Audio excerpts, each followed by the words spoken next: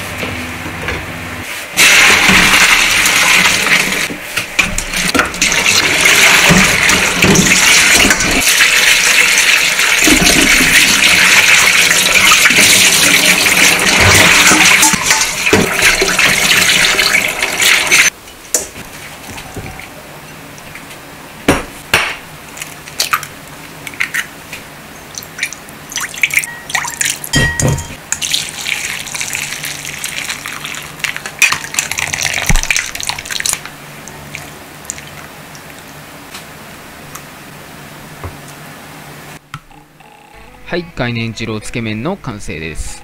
非常に美味しく仕上がりました。うまいですね。はい。まあ、概念っていうのは、まあ、自分が二郎つけ麺作りましたってことでして、まあ、皆さんも家でじゃあつけ麺作ったらそれは概念ですね。はい。で、麺なんですけど、二郎好きな方は今回ぐらいの硬さでいいかと思います。圧力鍋でシャカシャカ鳴り出したら火を止めて、圧抜いて、そこから再沸騰させて3分。くらいのイメージでした。とはいえですね、なかなかにハードな歯ごたえの面でして、うん、ハード組くらい歯ごたえありますね。うん、でもですね、圧力鍋で煮ることで粉っぽさがありません。ちゃんと火入れできていることが確認できます。あとは麺の作り方がまだダメですね。もう少し雑にっていう感じですか、感じですかと言いますか、麺肌がちょっと綺麗すぎるんですよね。うん。まあ、圧煙だったりとか、あんま圧煙してもダメだろうし、まあ、その点踏まえてもう少し研究が必要みたいです。まあ、水回し、じゃあ雑にやれって言われても、多分くっつかなくなっちゃうからとかいろいろありますね。うん。うん、てかですね、二郎は二郎として完成されたものだって気づきましたっていうか、まあこれは全てのご当地ラーメンとか名前ついてるラーメンに言えることなんですけど、やっぱり食べる目的が明確にあるラーメンに関しては、そこから再構築する理由っていうのがほぼないなって思いましたね。はい。まあ、あるとしたら、そのまま進化させるやり方か、もしくは目的を変えずに再構築するみたいなイメージですね。まあ、二郎、わかりやすく言ったら、二郎で言ったら、あの、三鷹のスタマンそばみたいなのがとてもいい例だと思うんですけど、味が違うんですけど、目的が二郎なんですよね。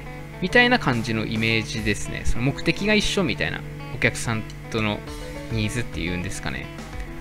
なので、そこ研究してて、ちょっと間違ってたっていうか、客層を変えてたっていうか、イメージとして。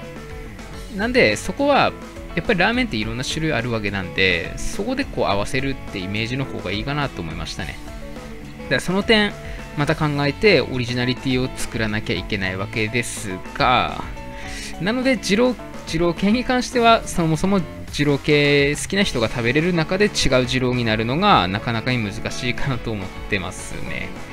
うん、ちょっと全員が全員食べれるかといったら、それは普通のラーメンになっちゃうわけでして、やるとしたらもっと割り切って作らなきゃいけないっていうことになりました。てか、まあ、はい、もしもし。まあでも、ちょっと考えありますので、そこはもう少し待っててください。っていう感じで、はい、今回は以上です。まあ来週も二郎みたいなの多分作ると思います。はい、以上です。ごちそうさまでした。よろしければグッドボタンとチャンネル登録の方お願いします。それとサブチャンネルウォッチメン TV の後半の方もよろしくお願いします。それではまた。